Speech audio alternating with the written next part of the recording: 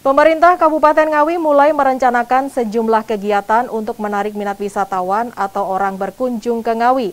Hal ini menyikapi keluhan dari Perhimpunan Hotel dan Restoran Indonesia PHRI yang mengaku jika tingkat hunian hotel saat ini kurang dapat maksimal karena belum adanya kegiatan yang bertaraf regional atau nasional.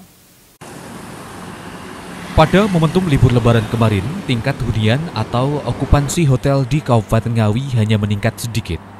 Peningkatan ini jauh dari target yang diharapkan setelah pelonggaran selama pandemi COVID-19 yang terjadi dua tahun terakhir. Menyikapi itu, Wakil Bupati Ngawi Dwi Rianto Jatmiko mengaku jika Pemkap telah menyiapkan kalender pariwisata atau event kegiatan yang akan menarik minat wisatawan atau orang yang berkunjung ke Ngawi. Sejumlah agenda kegiatan juga telah disiapkan seperti saat momentum hari jadi ataupun peringatan HUT RI. Di samping itu, juga untuk event yang berkelas regional, nasional, bahkan internasional, mulai dari motocross atau trail, serta para layang juga mulai digodok tahun ini seiring dengan sudah adanya pelonggaran. Diakui Wabub, jika pandemi COVID-19 yang terjadi dua tahun terakhir sangat memukul perekonomian nasional, termasuk usaha bidang pariwisata yang harus mati suri. Jadi pasti pasca uh, kegiatan normal ini. Jadi kita melihat kalau ukurnya di Idul Fitri kemarin.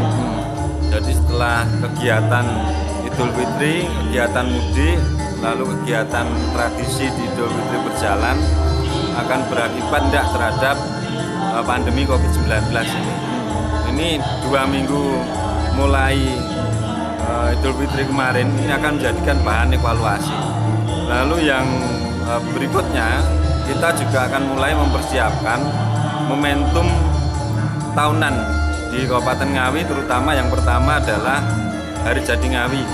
Lalu yang kedua Agustusan. Itu yang menjadi momentum tahunan kalender wisata sekaligus kalender kegiatan.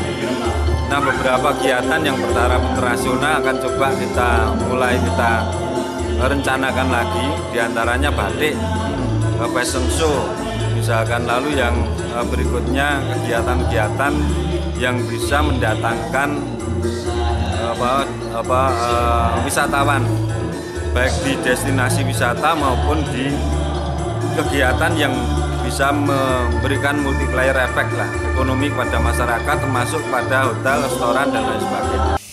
Seperti diketahui, sebelumnya PHRI Ngawi berharap adanya event kegiatan yang menarik minat wisatawan atau orang berkunjung ke Ngawi.